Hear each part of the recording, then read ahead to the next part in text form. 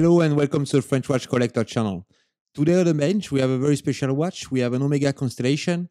Actually, I was looking for the watch for, for a long time and I found this beautiful example of an Omega Constellation and you see with this very unique dial with the hexagonal shape on the, on the dial. There is, uh, you see there actually when I'm pulling the crown, the crown is not staying in position. Is it go back like up. You see, went in automatically. So there is something wrong there with the with the crown when I'm pulling it. So basically, what we're gonna do on these uh, projects, like all the restoration I do on this channel, I'm going to take this uh, watch fully apart, um, see what's wrong, if there is anything wrong with the part when we disassemble it, just clean it, put it back together, re-oil everything, and uh, we should be able to get a nice watch at the end. Uh, you see the, the date is changing there at midnight. We have the original crown, you see, with the logo, uh, Omega logo. Uh, Omega bracelet as well, which is quite in good condition, actually, the, the bracelet. Uh, I'm not sure if it's the original one, but uh, it's in good condition. And now let's open the case back of this constellation, and you see the constellation sign there on the case back. And yes, that we found is beautiful Omega caliber. See the number there from the from the model. So it's an automatic movement. Just checking there, you see the play. Actually, it's not too much play in the rotor, so that's quite nice. Checking if everything is working. You see it's a 561 uh, caliber. It's a 500 series caliber from Omega. Uh, I really like working on this uh, on these families. Uh, 500 family from Omega It's a very very nice caliber and very nice to work on. So we announce a, a special giveaway in this uh, in this video, you will find a bit more detail a bit later on on uh, on on the video on how to find a vintage watch as I restore the channel. You see a bit more details uh, further on in the video. Okay, so just trying to remove the rotor there, remove the screw and this little clamp, which is keeping the rotor in place. Just using my plastic stick there just to lift it, lift the rotor quite tight. So it's, it's good. It means actually there is not a lot of play in a rotor, so that's a good sign just removing the crown there and pushing on the setting lever. There we go, the crown is out. And uh, now just removing the, the clamp, holding the mechanism in place. And uh, we should be able to take it out of the of the case.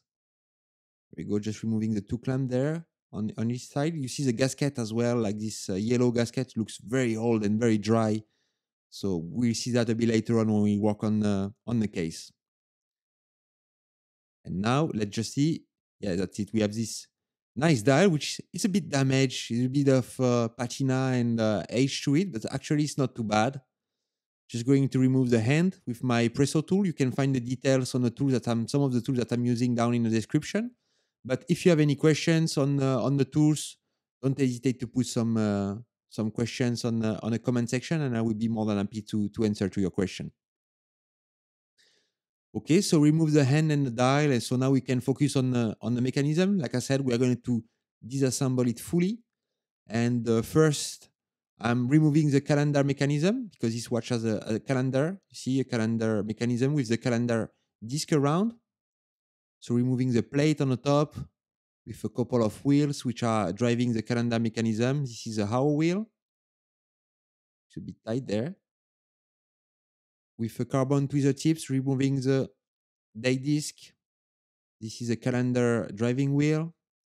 And you see there, look at it, the uh, setting lever spring is actually broken and the part is nowhere to be found. So it means that uh, it's strange because if it's broken, like you will find the part inside the watch, but I could not find it. So it means that probably the watch was disassembled at some point and the previous watchmaker put a broken part uh, or, or, or, leaves the broken part inside the mechanism. So obviously we'll have to find these parts and change it. But that explains why when I was putting on the on the stem, it was coming back to the original position. It was not staying in position. So we'll see that a bit later on when we'll uh, reassemble the watch if we can find a parts and fix it. Okay, I'm just removing now the automatic system that I will uh, disassemble a bit later on. And now I'm removing the power that's stored in the mainspring just to make sure that the mechanism doesn't have any power left.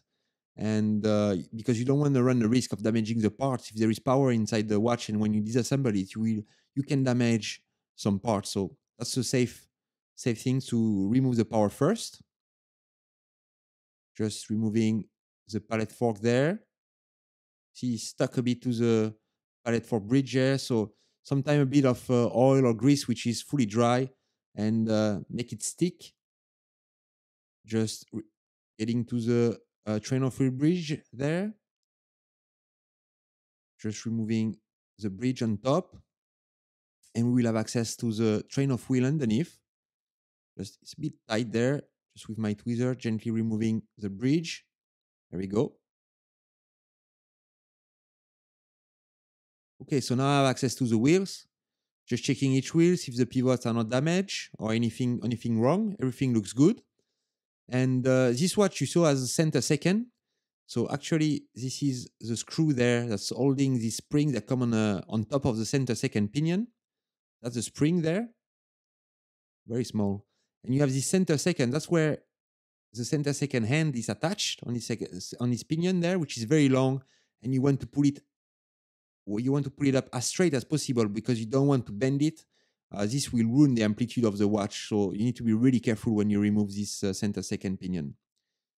Okay, I remove the ratchet wheel there, which is in two parts. You see for the, and look at the amount of oil that there is there. A lot of oil. Just try to remove as much as possible with my with Rodico, but obviously after everything we go in a cleaning machine and it will be removed. But this watch, you will see like in, in a lot of places, has a lot of oil.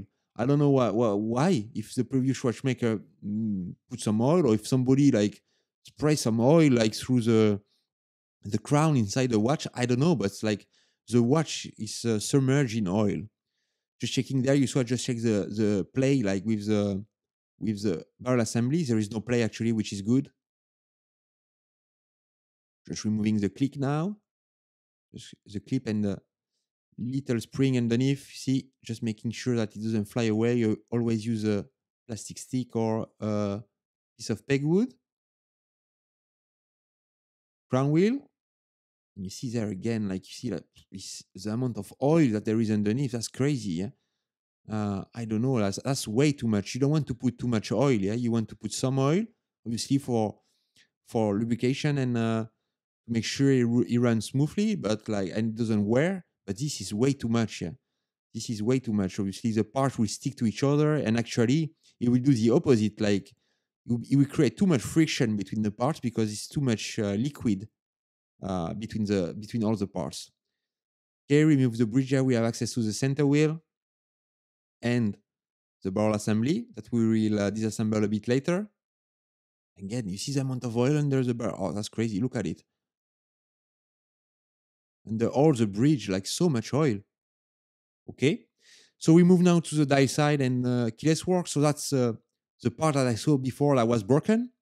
Normally there, there is a long arm on it, uh, which is acting as a spring, and you see that it's uh, broken. Like uh, like uh, yeah, it's not there anymore. So we'll have to find the parts, removing the wheel, again the oil on his side as well. Just removing as much as I can before putting it into the washing machine the yoke there, the yoke spring. Just make sure it doesn't fly away. So keep it in place. Here we go. The yoke. And we still have a couple of parts there with this little arm that's acting as a spring there on the setting lever. And the setting lever. And you see the, the movement is a bit dirty. So yeah, I don't know when the last time this part was uh, serviced, but it's strange. Broken parts, a lot of oil uh, the watch was running, but yeah, it's it's weird. It's really weird. I don't know if somebody uh, tried to have a quick fix or if it was done by a professional. But if it was done by a professional, this is really bad. Yeah. So now I'm just cleaning the the jewels there with a piece of pegwood just to make sure I remove any uh, dried up oil. The jewels there uh, for the balance assembly. So this one is a bit of it's a it's a different kind of shock setting with a screw you see on top and I'm just removing the jewels that we get clean, putting back the balance. That's a safe place to keep it during cleaning on the on the movement.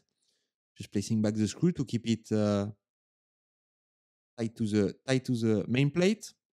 And the same again. This is on a on a shock setting there. Just remove the spring, and I will get uh, the jewel just to make sure they get cleaned nicely uh, during the during the cleaning process.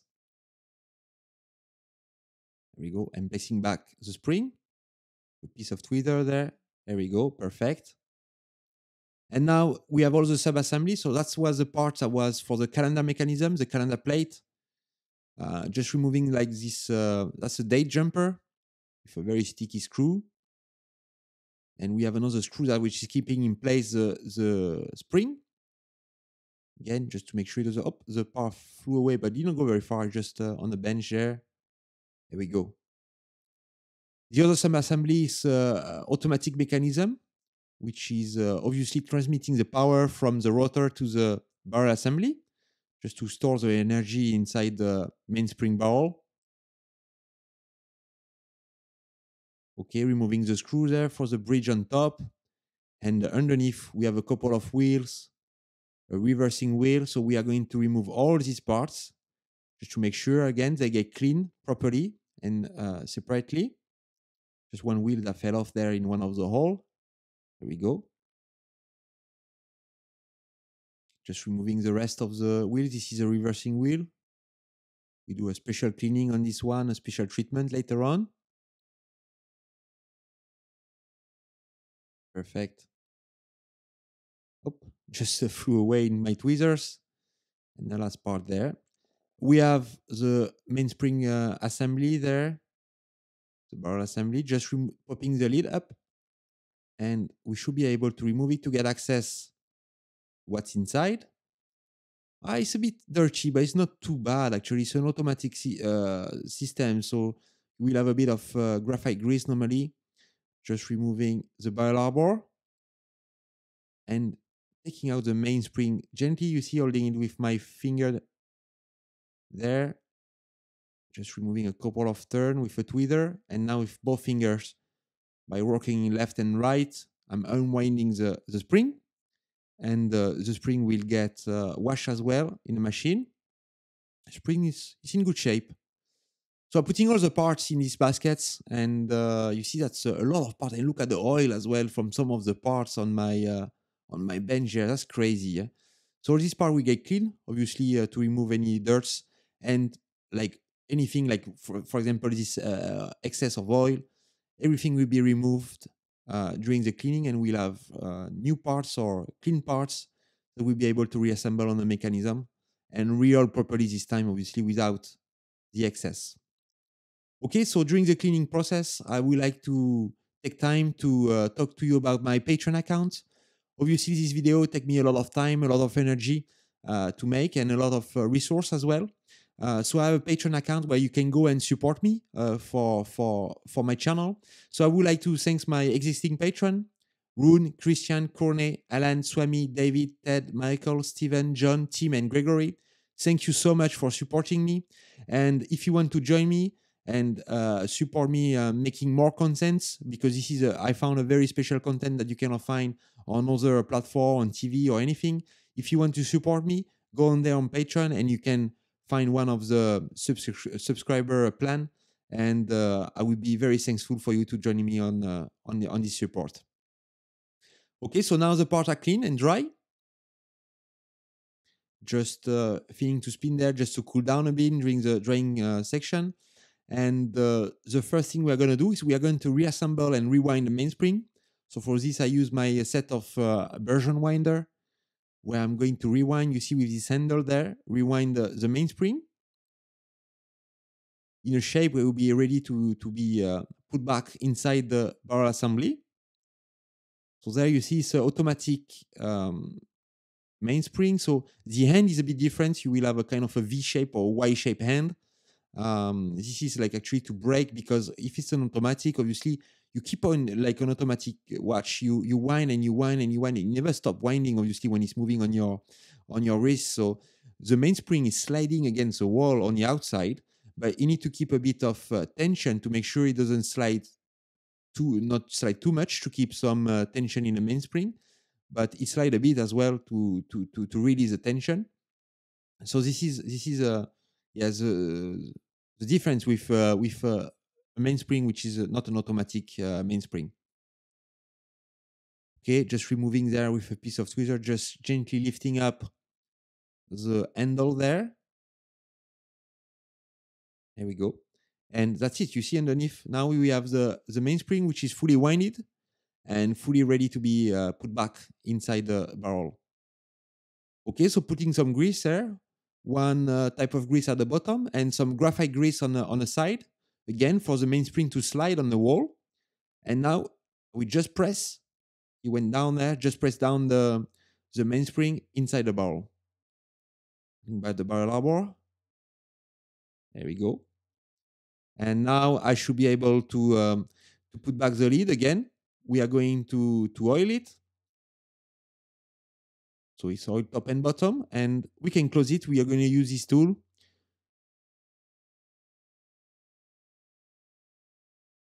So to thank you with all the support you are giving me on the channel, I will do a, a simple giveaway with this beautiful Longines that I restored on the channel. Uh, I will do the giveaway on the 26th of December, so you will describe the winner. And for this, you have three simple steps. First, you need to like the video. You need to be a subscriber, obviously, to the channel. And you need to put a comment down below why you love so much vintage watches. So thanks for participating and good luck in this giveaway. Okay, so the next step, we are going to treat uh, the parts that will be treated in Epilam. So for this, we are going to treat like the pallet, the escape, and a couple of jewels of cap jewels there, which are for the balance assembly. So the Epilam is a, treatment that will help when we're going to put the oil later on, because it's parts that need to be oiled, the Epilam uh, will keep the oil in place. Like the, the oil will not uh, uh, move. It will, it will keep it like, the, it will give like more surface retention. So the oil will stay more at the place where we put it instead of uh, like going and going slowly like on a on the hedges Um, so yeah, that's a treatment that you're gonna you are doing, and just keep it like for a few seconds inside the inside the epilam. It's a surface treatment. So now I'm taking out the parts. We are going to dry them, and when they are fully dry, they will be ready to be to be oiled. Just cleaning the pivot point there for the escape and the pallet fork. And this is where I put a drop of oil on the cap jewel there, right in the center. And like I said, the epilam will help me to keep the oil right in the middle. The oil will not move around on the on his cap jewel. There we go. And when it's done, I can put the top parts on it. So these parts are very small. Obviously, you don't see it on the camera because there is a bit of uh, macro zoom on it, but they are so tiny. Look at it compared to my finger there. That's it. Both are, are so I can put place them back on a balance. Put back the spring in place on this side. Just close one side. And just gently, I'm going to put the other arm back in place. That's it. And the other side is a bit different on this watch. You see that the, there is a parts first, placing back the jewel there. And uh, the spring actually is kept in place with a, with a screw just need to put it over the jewel there and over the hole where we're going to put a screw. It's a bit of a different design actually. Uh, not something that I see like uh, a lot. So yeah, it was probably changed over time. I'm not sure what, what's the reason or what the advantages of this uh, shock setting system compared to the other one. Uh, but yeah. Okay, so now the balance is fully ready and fully oiled. We can start the reassembly. You see the movement. It's a lot cleaner actually uh, compared to when I disassemble it. You don't see any oils anymore on the surface. It's uh, fully clean. The jewels are fully clean. Um, so yeah, ready to, to be uh, assembled. Just placing there the bridge on top with all the parts, putting the screws. And uh, in uh, everything which is very important during the reassembly is that obviously all the parts need to be put back at the correct place. Uh, but after we need to oil and that's it. You see, for example, there I'm oiling the parts, oiling this jewel, just to make sure like the parts which are in contact with the jewels against metal to metal, everything is lubricated properly. To reduce the amplitude of the watch, make sure we have a good amplitude, so we'll have a good timekeeping, but as well to make sure that the part doesn't wear uh, too quickly. So this is very important to oil it and not to put too much like we saw during the disassembly because this is not, not bad as well. Uh, this is bad, sorry, as well. Um, so yeah, this is very important, but yeah, quite tricky because you need to put enough, obviously, to be have a good lubrication, but not too much because it can be can do the opposites if you put too much oil. Okay, so now I'm assembling this uh, crown wheel there, and you see we have this little wheel with this uh, like uh, five teeth there, six sorry, six teeth that go underneath, running around this other wheel that uh, just went underneath. So just oiling everything, like I said, all these pivot points, and now can put the screw just to make sure it stay in place. Okay, so now let's focus on the crown, on the crown wheel. Again, lubrication, these discs that go underneath. Putting some lubrication you see on this uh, kind of edges there because actually only the outside rim, like where you have the um, where you have the teeth, is going to is going to rotate. Uh, and like in this groove where I just put some oil, you will have some friction. So that's why you put the you put the oil there just to make sure you reduce the friction and reduce the wear. Okay, I'm placing back now the, the wheels from the train of wheel. Just placing back in their pivot point there in their jewels, respective jewels. I do it just as uh, as good as possible. Just placing them, uh, you see, like just trying to find the position, just moving them very slowly in, into their place there. And now we're going to do the same. We're going to put the, the bridge on top. And basically, I need to make sure that each wheel is aligned into each jewels. So I just put a bit of pressure on top with uh, my plastic stick there. And you see that it just dropped down. So that means probably it's in position. And the way to, to see it is when I'm turning the crown wheel there or the ratchet wheel, all the wheels are moving together. So it means that all the wheels are in the correct place. So if it is, I can secure everything with the screw. Make sure everything doesn't move. Perfect. Just checking there again after screwing it. Yeah, looks good. So let's move on a, on the calendar side and the keyless work. Um, so you see me there putting some blue grease there, which is a, a high friction grease. But this is some parts that we see a lot of friction. Um, putting back the winding stem And again, on this side, like you see, like it's much cleaner than uh, what it was when uh, I disassembled it. You see no oils, no trace that it was. Putting back the setting lever, the screw there, and uh, on this uh, spring that keeps the setting lever in place. And obviously, remember on this on this side, it was a broken part so yeah, on vintage on, on vintage watches, sorry, it can be very difficult to find some uh, some parts and can be very expensive. Uh, this is yeah, what's uh, but on this Omega, like the 500 series, you you obviously they made a lot of movement, and some people uh, even today are making like uh, new parts uh, for for this movement. So it's not too complicated to find some parts for this uh, for this Omega movement. Obviously, on much rarer par- uh, caliber or watch, uh, it can be very tricky to find some parts. Um, so yeah, any a lot of parts you cannot make them yourself. Or today I don't have the skills actually to make them myself. I hope one day I will have, but uh, today is something that uh, I'm uh, yeah I did not try yet, or um, uh, I did not I don't I still don't have the uh, the the tools to make the parts, but uh, maybe, maybe one day I will. Okay, so that's a part actually that was broken. And you see, I found this is a new parts.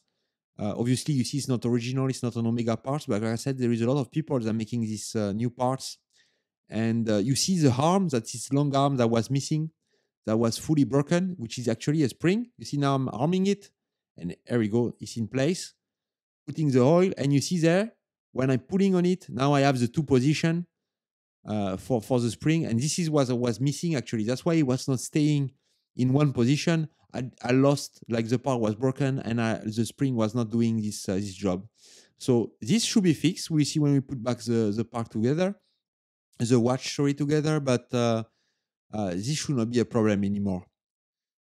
Okay, putting the pallet fork again, putting on the jewel at the bottom, and putting this bridge on top there trying to align it as much as I can. very slowly because you don't want to bend you don't want to damage this very thin pivot there on the wheels or on this pallet fork. So you don't want to put a lot of tension. And you see up there, it just drop down. So I can press it in place. There we go. And just checking the pallet is rocking. Yes, it is. So I can put the screw. And the next step there, we're going to do is we're going to put a bit of power in the watch, just winding it a bit. And we're going to see if the pallet fork is working left and right. Yes, it is. So the power is coming to the pallet fork. That's good. And now the moment of truth, as always, we're going to put the balance assembly and see if the watch is starting. Uh, I just put it a bit too far there. No, it doesn't go. Yeah, it, when it goes there. And this, I'm leaving you like the full process because you will see in this, in, you need to be very patient. Is you see, I try to put it and the watch is not starting. Yeah, it's, it's not fully in place yet. I try to put it in place. Doesn't want to get a line. So again, you need to be very gentle because you don't want to damage the balance with the hairspring, with the with the stem there. It's very sensible, so you don't want to use force. And you see the the wheel doesn't want to start here. Doesn't want to go. I'm checking, see if anything is in the way or anything is touching or preventing the wheel to turn, but I don't see. Just checking it's in play. It looks good, but it doesn't want to go. So what I'm going to do, what I do in this moment, I would just take the balance out and just restart a couple of times from from from zero just placing it back just doing placing the align it to the bottom jewel there yes up you see when down he went down in a in a bottom jewel just making rot rotating it slowly until he finds his position yes just putting in place and see this time oh it looks like he want to move he looks a bit better. Yes. Again. No, he's not in position. Yeah. That's it. Here we go. And you see, actually, the first time, uh, the jewel, the impulse jewel was not in the right place. So that's why the, the balance didn't want to start. So just doing it again very slowly without, uh, without stressing, without doing stupid things. Um, yeah. And you see the second time around, he, he just started. Okay, so now I put uh, this uh, second pinion in center, just lubricating on the top. Before I put this spring, there's this friction spring. Actually, this spring like uh, is keeping a bit of friction in uh, in the center second pinion, just to make sure like the the second is running smoothly, make the run it doesn't jump like if you want like for example a quartz watch, uh, it will have a, a little jump obviously like mechanical watch depending on the on the frequency of your movement. Uh, but yeah, not big jumps. Uh, this is why you have this uh, little spring there. We keep a bit of friction on the on the second pinion. Okay, so now the other complication on this watch is a calendar. So I'm going to reassemble the calendar mechanism, oiling all the pivot points. There we go, putting the wheel there. Now I'm going to reassemble, you remember, the parts with the jumper. So again, oiling all the pivot point, putting the jumper. We can secure it with the screw. And after it was the spring that go and uh, keep the jumper under tension. So putting the putting the spring there. I'm just going to put the screw I'm not going to screw it fully, but just to make sure the spring stay in place. So that's a safe way to make sure the spring doesn't jump, it doesn't go anywhere. Just arming it, just putting into position. And now, now it's in position. I can fully screw it down. And obviously oiling all the contact point there to make sure it runs smoothly. And we can finish by putting back this uh, calendar uh, ring and the plate on top again just to make sure I harm you see like you see the jumper on uh, there just to make sure there we go you see with the spring it does its job. It will make the the date jump. That's a that's the function of the date jumper around midnight. Obviously if we set up uh, we need to set up the watch correctly to make sure we see a bit later on to make sure the date uh, change happen around midnight.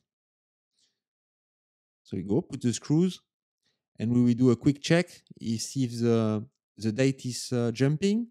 So now I'm changing the hour, and you see the disk is moving. And tack, we got a jump, so that's perfect. Okay, so now let's focus on uh, on the automatic system. So this is a reversing wheel. I treated in uh, Lubeta, which is a, a lubricating uh, agent and cleaning agent for reversing wheel, which is specially made for this.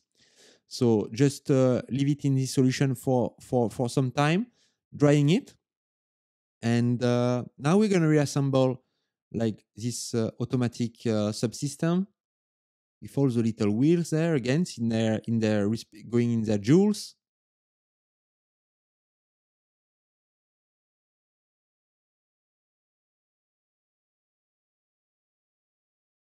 go the last one. You see it doesn't want to go in the in the here we go. Went in the jewel, and when it is you're going to do the same on the on the top side line up everything.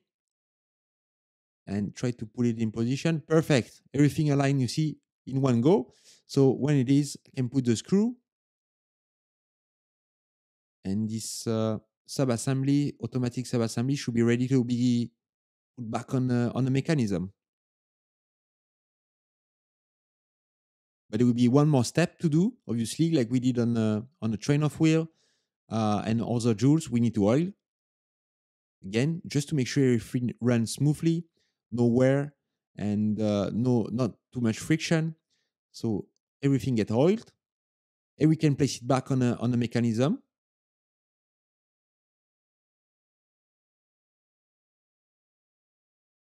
Here we go, just pressing it down slowly putting the screws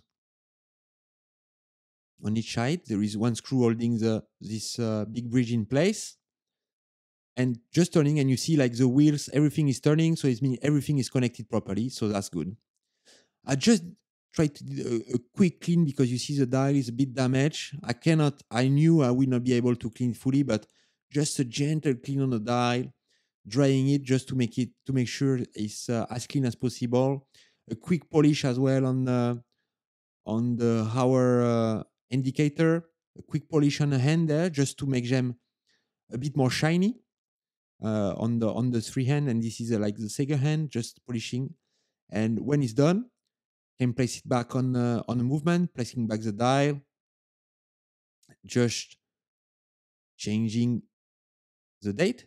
Yeah, that's a jump. So this means that's midnight. So I can put the hour hand align it to midnight as best as possible. And on this dial is quite nice because you have this uh, this line that goes through uh, 12 positions, the 12 position and 6 o'clock. So you know when it's a midnight. Now I'm just aligning it again to midnight and just put the minute hand.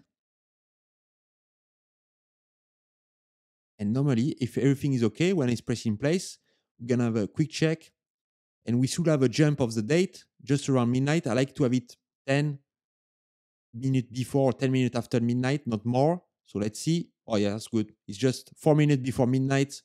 Very happy with this. So that's perfect. And the last one is a second hand. This one can go anywhere. You just put it anywhere. Just press it in place with my uh, hand setting tool. There we go. So let's focus on the case just going to remove the crystal there, which has a, tension ring around, which is actually the original because you have the Omega logo in the middle. Just removing some dirt uh, with a piece of pegwood. The case and a case back and a bracelet, obviously, we go later on in uh, ultrasonic machine to get clean. And I need to remove this old uh, gasket there, but it's fully dry, like it's, it's hard, like it's fully hard, it's uh, fully dried. And you see, like, with a piece, a broken oiler there, I'm removing it, come into pieces, yeah is uh, yeah, it was time to change it, and actually, it was not doing anything anymore. It was so dry that it was not uh, preventing anything from coming into inside the watch. Just polishing the crystal there to give it a new shine on my uh, polishing machine because I want to keep it as original. It's original crystal with the Omega uh, logo, and now I just put all the parts in the uh, in this ultrasonic machine just to make sure I remove all the dirt I'm uh, using my press there to put back the crystal back on a, on the case. So you see, just put the case first. Crystal, I'm just going to use a bit of plastic there for protection to make sure I don't damage the die when I, uh, the, sorry, the crystal. and just pressing it in place. There we go. Now we just we went right down in the case. The crystal is in position, is polished, is clean. The case is clean as well in an ultrasonic machine. Just removing any uh, dust or anything on the, on the dial and just placing it back on the case and uh, newly uh, polished crystal. Well, that's a, such a nice movement. I I love as well automatic movement. I love them before. Obviously, after you have the rotor that go uh, on top, which is hiding some parts, but look how beautiful it is. I really like the, the Omega movement with this uh, with this copper color. Uh, the the ruby coming out like this. Uh, wow, it's, it's beautiful. Just placing back the case clamp and the screw there that we keep the movement in place in the in the case. And on this movement, I really like the design of the lug uh, on the on the case. It's very special, very unique. Uh, I I love it. Especially even upside down like this is is uh, is so nice. Placing back the rotor there with these parts, just press it in place. There we go. This part just make sure the rotor doesn't come out of the, from the from the shaft where it's on. And just checking when I'm rotating. Yeah, everything is moving. I can see uh, it's widening actually the the ratchet wheel, so that's good. New O-ring because you remember like the the one the gasket was fully dry, so just put a new one, just treating in silicone there, just to make sure it's uh, sealed a bit better with uh, a silicone on it. Just placing back into the groove. There we go and I can put back the case back, just screw screw back the case back on the, on the watch, and uh, basically that's it. The watch is uh, fully done, so we need to check if it's running properly. So I put it on the time grapher. You see the beat error is around 0, 0.1. The amplitude is quite good as well, around 290, 280. And the rate, the watch is losing one, is around one, zero second. So that's actually is, uh, is perfect. Uh, the timekeeping on his watch is, good. I'm very, very happy with the result. And this is the finished uh, product. You see this uh, beautiful watch, uh, which keeps this original. I don't like to, to restore too much on a dial on a case. Really, really beautiful, like a historical, historical piece, like this Omega Constellation. So hope you like this restoration. And I see you for my next project. Bye bye.